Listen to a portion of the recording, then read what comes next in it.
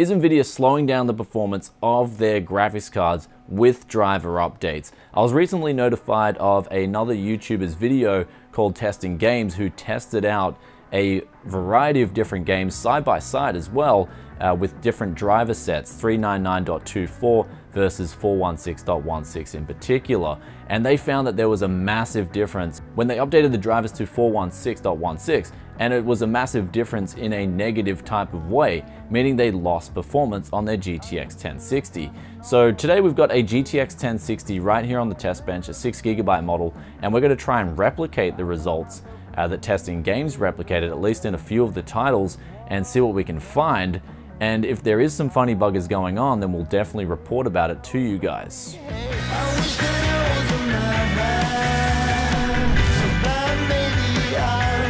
Brought to you by Squarespace and Tech City viewers are getting 10% off and this is great because Squarespace offer a complete package where you can just build, manage and maintain a website all year round without crazy overheads and crazy charges that other companies will charge you to get off the ground. If you're a small business, this service is very crucial because you can get a professional looking website that looks the part and plays the part for only a fraction of the cost of what the other guys can do.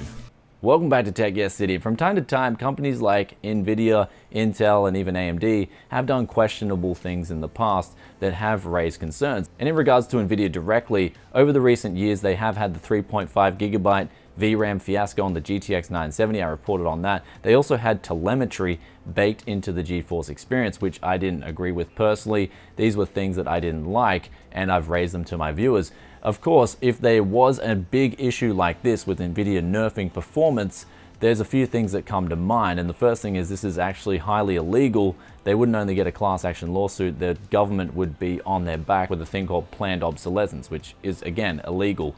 So basically for NVIDIA, there is a lot at stake if they get caught, essentially nerfing the cards via drivers. But anyway, let's get on to the video itself from testing games. Uh, he or she, they either do some very consistent testing uh, side by side, I must admit the work that they do looks pretty impressive. Uh, however, in this case, we decided to install on the exact same setup with the exact same version of Windows, and I do put an emphasis on that, the exact same version of Windows, because this is going to lead into something. Uh, when we installed the same driver sets that they were using, we found absolutely no difference. Uh, first off, we started with Assassin's Creed Origins, where testing games had the inbuilt benchmark, they showed the settings, uh, we used ultra preset settings, and we found that we had 52 FPS versus 52 FPS. So this was on the same instance. We then went back with uh, DDU, that's display driver uninstaller, completely ridded the 399.24 driver, and then we installed the 416.16 driver, and there was no difference. Uh, we then moved on to The Witcher 3. We noticed virtually no difference, however there isn't an inbuilt benchmark in this game, so we had to sort of replicate an apples to apples comparison here and there was again no discernible difference, nothing worth noting on. And then we tried to do Kingdom Come Deliverance and there was again no difference in this particular game. And then lastly we decided to move on to Project Cars 2 and do the same tests and yet again we noticed no difference going from these drivers. Now some people will say okay but the drivers Nvidia's gone back and they've fixed the mistakes and then they've re-released them to the public. Uh, that might be great, they might be doing that, I have no idea, but the drivers that we used here have been on our NAS since they've been released. So we're using the original drivers that were released uh, day one from NVIDIA, and so they've been stored on our NAS and they haven't been tampered with at all unless NVIDIA's infiltrated my house and somehow put the new drivers on and then managed to go back and modify the dates on them and do some other crazy stuff and then it somehow made performance different. The point in case here, when we're going over testing games' as results, they're showing some massive differences. In fact, they're in the likes of around 10% in some of the titles that they're showing. In uh, Assassin's Creed Origin, for example, uh, they got a big boost in FPS with the 399.24 driver versus the 416.16. And I was sitting here scratching my head and I was like, well, there has to be an explanation for this. So I started digging a little bit deeper and on Reddit there was a user called Lock and JP, and he put it down to an actual Spectre and Meltdown patch that came in with a Windows update. And he tested before and after, and he noticed quite a big difference in games when he applied this update versus manually disabling it. So we decided to manually disable this uh, patch and then retest the game. And Assassin's Creed Origin then did get a boost from 52 FPS on our end up to 56. So this may be the smoking gun that testing games was trying to refer to, but the problem here is, is that in the title of the video, they've put NVIDIA slows performance with a driver update, NVIDIA. And this is a problem. I don't think NVIDIA has nothing to do with this. Uh, they have no control over Intel and Windows implementing updates for Spectre and Meltdown. And this looks like it's the exact reason for these performance slowdowns. It just happened to be maybe he tested the games in the uh, 399.24 before the Windows 1809 update or before he got the Spectre and Meltdown update patch applied. And then he went back and tested those games again and he noticed there was a huge difference just off the top of his memory. And he's like, damn, I've got this one. This is it. NVIDIA, you're going to be exposed. And he didn't go back to sort of double check his results and then especially test them on the same scenario. Uh, and that's the problem. When you do benchmarks, a lot of the times you have to test things as they are at the moment. I can't go back and pull up old benchmarks from two years ago on a GTX 1060 and then now compare them to an RTX 2070, for example.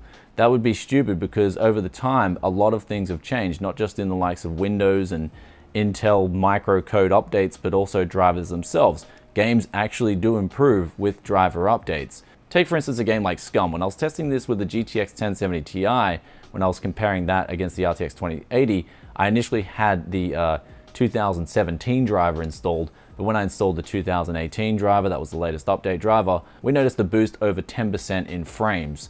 So driver updates do generally over time help performance, especially when it comes to certain games. Sometimes they can make an even bigger difference, but in this case, NVIDIA hasn't done any wrongdoing, and as much as people would like to jump on the bandwagon with their pitchforks and have it out for NVIDIA, and I know they've done some stuff that's very questionable in the past, uh, this time around, they're not at fault. I've never found any direct evidence that NVIDIA have been nerfing their cards with driver updates. And again, it's an illegal practice. If one were to do this kind of thing, they would just simply stop support altogether. And that seems very weird at the moment where there's apparently a massive glut of 10 series cards that were made and never got sold because the demand for cryptocurrency mining faded away. And so with that, they now have to sell these 10 series cards. So I doubt they would be nerfing the cards if they wanted to sell them. Doesn't make any sense at all. And on the flip side, I've heard rumors of NVIDIA deliberately capping the RTX 2000 series cards so they can sell the 10 series cards and when stock's low of them, they can then up the performance of the RTX 2000 series cards. I mean, ultimately, who knows? You'd have to get a driver for the RTX 2000 series card, which is before the day one driver, which I can't do. However, ultimately back to the case on hand when it comes to NVIDIA and driver updates and nerfing performance, if there is any funny buggers going on, I'll always let you guys know as soon as I can. But this time around, NVIDIA is done nothing wrong. And I'd also like to uh, send an open message to Testing Games to please change his title around and go back and reinstall Windows and check the results on those two drivers he has with a same day install with all the patches applied and then do another before and after. That'd be a really good follow-up video because I just don't think his results are right. And also as Steve from Hardware Unboxed has said in the past, it's a reason why when we do these tests for new graphics cards and new CPUs, we always test at the same time. So there are no possibilities, or at least the possibilities of sort of variances like Windows Spectre, meltdown updates happening are put to a minimum. Also, if you want a link for a program that can disable and enable Meltdown Inspector patches easily, then I'll put the link in the description below. I do recommend doing the regedit method though, that way you definitely know that it's enabled and disabled and you can test these things for yourself see if you notice any differences. Anyway guys hope you enjoyed today's video. If you did then be sure to hit that like button. Also big thanks to today's video sponsor squarespace for sponsoring this one out and i'll catch you in another tech video very soon. Peace out for now. Bye